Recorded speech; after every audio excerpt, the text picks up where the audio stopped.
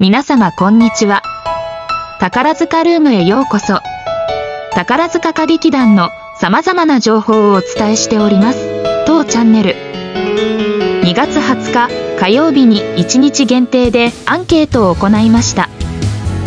今回はアンケート結果をお伝えすると同時に空組に関する新しい情報をお伝えしていきます。よろしければチャンネル登録高評価。よろしくお願いします。さて今回私の YouTube チャンネル内にありますコミュニティを通じ2月20日火曜日にアンケートを実施しました。急遽だったにもかかわらず145名の方にご参加いただきました。投票いただきました皆様本当にありがとうございました。アンケートの内容ですが今回は空組についてあなたは存続すると思いますか？という内容で存続する存続しないのどちらかを選んでいただく方式で行いました。結果は存続するが51%存続しないが49%というものでした。私の正直な気持ちをお伝えしますと存続するを選ぶ方が圧倒的に多いと予想しておりました。しかし結果としては存続するを選んだ方が多かったものの存続しないを選んだ方と僅差という結果でした。私の気持ちを追加でお伝えすると今回は主催者ですので投票はしていませんがもし投票する側の立場であれば存続しないを選んでいたと思います。先ほどの予想と矛盾してると思われるかもしれませんが私は現時点で空組がどう変わるのかがわからないというのがあるので余計なのですが空組が今のままで続行するのが許せない気持ちがあるので続行するのであれば存続せず久美子の皆さんを各組へ振り分けるべきだと思っています。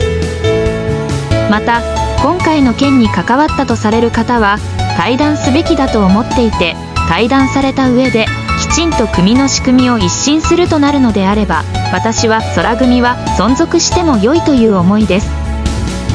前回の動画でもお伝えしていますが今のこのような状況を作った人たちが私には許せない気持ちでいっぱいだからです。でもなぜ私が存続するの方が圧倒的に多いと思ったか。それは空組のみんなを待っている方が多いということも知っているからです。しかしコメントを拝見していると存続しないに対するものと思われるものがほとんどで皆さんの思いについて改めてよく分かった気がします。私でも先ほど述べたような思いなので本当に皆さんいろんな思いをお持ちだと思います。皆さんの気持ちが反映される形でことが進めば良いのですが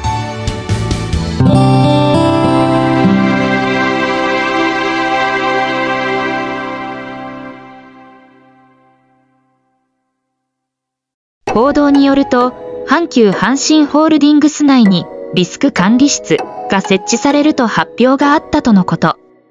4月1日付で社長直轄の組織となり、危機管理に対する強化が行われます。また、阪急阪神ホールディングスの住会長が遺族側に対して、直々に謝罪をされる意向を示しているという報道もありました。しかし、一番恐れていること、それは、謝罪で済まそうとしているのではないか、ということです。歌劇団側は、一度いじめやパワハラはなかった、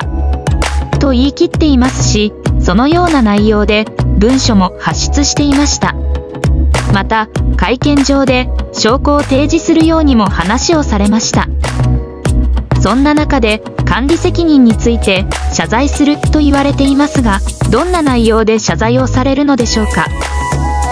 なんと今回の報道によると歌劇団側はパワハラがあったことを認め遺族側に伝えているとありました。とうとう宝塚歌劇団はパワハラがあったことを認めたのです。ただし遺族側は歌劇団側に対して15件パワハラがあったとして訴えていましたがそのうちの一部を歌劇団側はパワハラがあったと認め一部については協議を進めるとしていると記載されていました。劇団側がやっとパワハラがあったことを認めたというのはほっとしましたがファンの皆様が思っている気持ちとは裏腹に劇団側はどうにか早く空組を復活させたいと思っているようにしか思えない。阪急阪神ホールディングス側が一部のことを認めその責任を住会長が謝罪して今回の件の責任を取り会長を辞めます。という結果だけにならないか。そこが私は不安なんです。それでは宝塚歌劇団は変わらない。空組は変わらない。何度も言いますが被害者がいるということは加害者が必ずいます。でなければ今回のような状況は起きていないわけです。その加害者を守るという行為を劇団側がしないよねと。空組は今まで作品も上演できず空組の邦子たちは我慢してきたのだからそれで良いじゃないかとでもなればそれこそ宝塚歌劇団が廃れます。今までの歌劇団が取ってきたその行為こそが被害者ではなく加害者を守る行為そのものですから。そういうことにだけはならないことを願っていますが一体どうなるか。もう少し見守ろうと思います。改めてアンケートにご協力いただきました皆様ありがとうございました。また何かの際はアンケートを実施するかもしれません。その際はご協力いただければありがたいです。アンケートはチャンネル登録をしなければ参加していただくことができません。よろしければチャンネル登録また動画に対する高評価をよろしくお願いします。